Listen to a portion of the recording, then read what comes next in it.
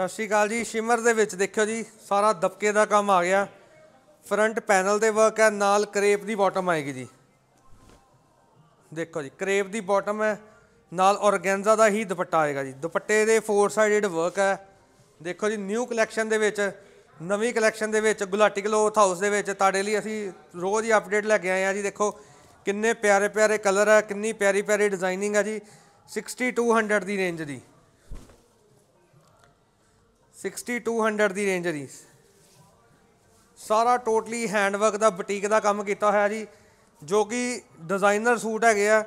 ਤੁਸੀਂ ਕਿਸੇ ਵੀ ਜਿੱਦਾਂ ਬੁਟੀਕ ਤੇ ਜਾਓਗੇ, ਉਹਨਾਂ ਨੂੰ ਕਹੋਗੇ ਕਿ ਇਦਾਂ ਦਾ ਸੂਟ ਤਿਆਰ ਕਰਕੇ ਦੇਵਨ ਤੇ ਘੱਟੋ ਘੱਟ ਮੈਂ ਗਰੰਟੀ ਦਿੰਦਾ ਜੀ, ਉਹਨਾਂ ਨੇ ਇਹ ਵਾਲਾ ਸੂਟ 12000 ਤੋਂ ਘੱਟ ਨਹੀਂ ਦੇਣਾ ਬਣਾ ਕੇ। ਜੋ ਕਿ ਅਸੀਂ ਆਫਰ ਦੇ ਵਿੱਚ ਲਗਾਇਆ ਹੋਇਆ ਅੱਜ 6200 ਦੀ ਰੇਂਜ ਦੀ। 6200 ਦੀ ਰੇਂਜ ਦੀ।